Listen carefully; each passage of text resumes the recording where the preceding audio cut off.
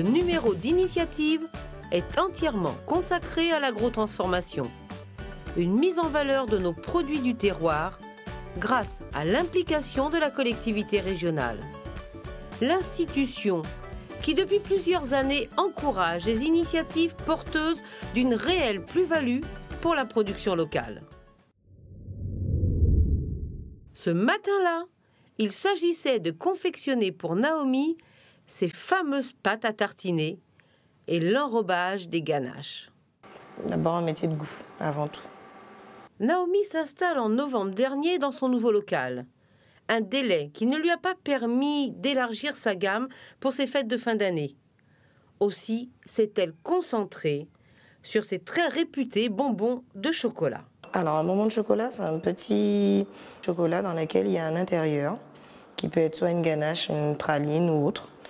Et euh, moi, j'ai choisi en fait d'avoir des intérieurs ganache. Donc je n'ai que des intérieurs ganache avec 18 euh, parfums au total gingembre, cerise, piment doux, goyave, ananas et celui qui m'a donné mon prix, la rose porcelaine.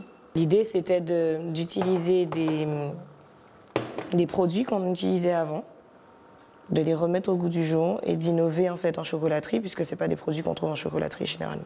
À l'occasion du dernier salon international du chocolat, Naomi a été primée pour cet arôme exceptionnel et unique décerné par le très réputé Club des croqueurs de chocolat, lequel sélectionne les 200 meilleurs chocolatiers du monde. Cette année, j'ai été classée parmi les 200 meilleurs chocolatiers du monde, pas seulement par rapport à mon travail, mais aussi par c'est le terroir qui a été récompensé là. Donc c'est ce cacao-là qui a déjà été, qui est maintenant reconnu, qui est maintenant reconnu comme étant un excellent cacao, faisant partie des 200 meilleurs cacaoyers du monde, que je mets en avant.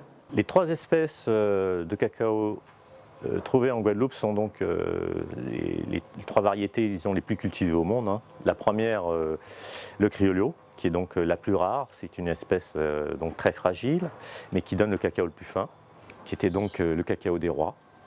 Celui qui était destiné à être consommé un peu comme le café, donc il fallait, une base très pure, très, raffinée.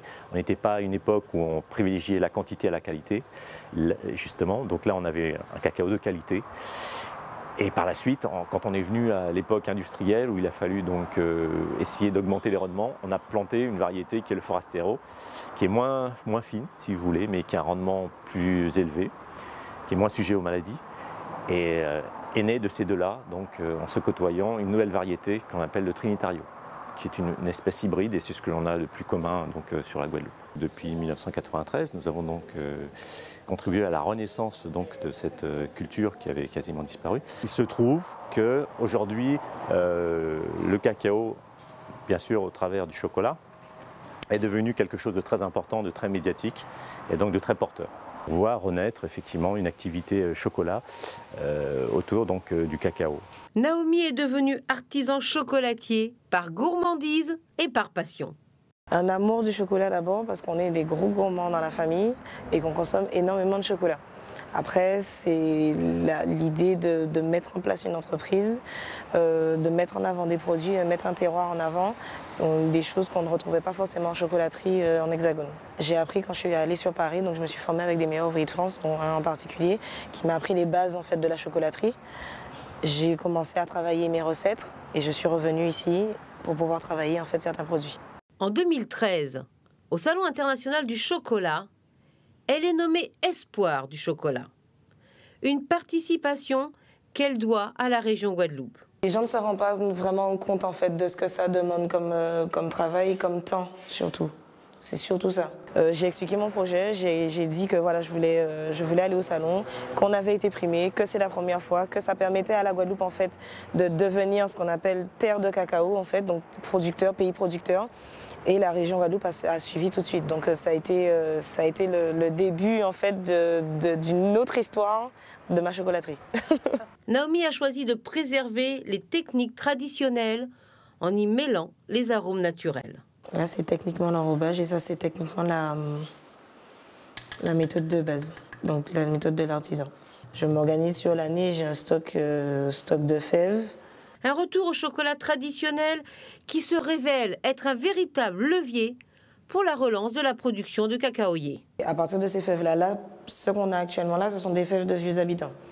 Donc c'est un agriculteur qui, enfin ils sont deux, deux jeunes agriculteurs qui ont des cacaoyers, plus particulièrement des créolios. Et c'est parce qu'ils ont ce type de cabosse-là que je travaille en fait. Et je préfère travailler avec ce type de cabosse-là. C'est un chocolat qui n'est pas fort et très très léger. Il y a une véritable volonté en fait des, agriculteurs depuis six ans de vouloir replanter en fait du cacao. Donc généralement plus sur la basse terre de la côte sous le vent, mais j'ai aussi des agriculteurs qui sont sur Bémao, j'en ai un sur le Moule aussi, j'en ai sur les Grands Fonds. Et donc la, Guadeloupe, on a la possibilité d'avoir du cacao un peu partout.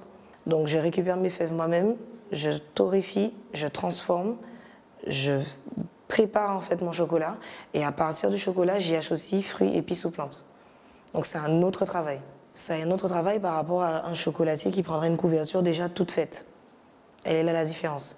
Donc idéalement, et c'est ce qui a été primé, c'est le, travail du, de la couverture et le travail des intérieurs ainsi que l'innovation qu'il y a dans chacun des, des, produits qui ont été euh, présentés. Et c'est ce travail-là qui a été reconnu par les experts. Donc maintenant, la Guadeloupe est reconnue comme terre producteur de cacao au niveau mondial. Notre chocolat serait donc un grand cru à l'instar d'un grand Bordeaux. Au niveau du vin, que ce soit au niveau de la dégustation ou de la préparation, on est sur exactement le même créneau que le vin. On parle, de, on terroir, on parle de cru aussi en chocolaterie, comme pour le vin. Euh, donc on parle d'un chocolat de domaine aussi, pareil, exactement comme pour les vins. Un chocolat haut de gamme et un café bonifieur. La Guadeloupe renferme des trésors qu'elle doit désormais exploiter, développer et faire connaître. La COPCAF est la première coopérative de café des îles de Guadeloupe. Elle reste l'ambassadrice d'une tradition préservée. Sous cette plantation, j'ai à peu près plus d'un hectare, alors ça me fait plus de 2000 plants.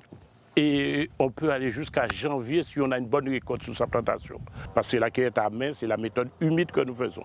On récupère les cerises mûres et on les transforme. Nous avons 5 kg de cerises, de café cerises mûres, pour 1 kg de café séché. On arrive à peu près à, 1, à 850 g de café décortiqué, le café vert. On a, après torréfaction, on arrive à peu près entre 600 g de café torréfié. On perd dans toutes les étapes. En d'autres termes, 2 tonnes de café cerise sont l'équivalent de 500 kg de café séché. Au début, on fait tous les 15 jours et après, quand ça commence à mûrir bien, tous les, tous les semaines, il faut être dans l'arbre. La cueillette va se prolonger jusqu'à la fin du mois de janvier. Et pour lui conserver toutes ses qualités, le café doit débuter sa transformation 6 heures maximum après la cueillette. Les grains sont d'abord immergés dans l'eau et ceux qui flottent sont immédiatement écartés. Maintenant que nous avons décerisé le café, on passe à la fermentation. Le café doit rester à fermenter pendant 24 heures là. Ce n'est que demain qu'on va laver le café avant de passer au séchage. Après la fermentation, il faut nettoyer l'enveloppe de sa pellicule de glu et ensuite seulement sécher naturellement le café au soleil. C'est chaque cueillette est transformée et mise au soleil dans les tiroirs. C'est le siège de la COPCAF ici à Bovis-Baïf. Tous les adhérents de la COPCAF emmènent leur café ici et le café est transformé par la coopérative. Et parce qu'on leur paie un prix quand même qui est assez intéressant, de plus de 2 euros par kilo de cerises, de façon à arriver à 10 euros le kilo de café séché. Ils ont la garantie de vendre leur café puisque leur café est payé tous les mois.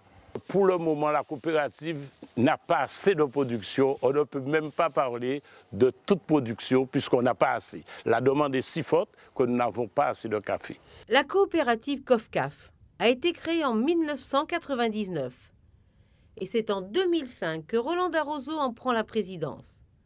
Il relance l'activité avec le soutien des services de l'État et surtout du Conseil régional.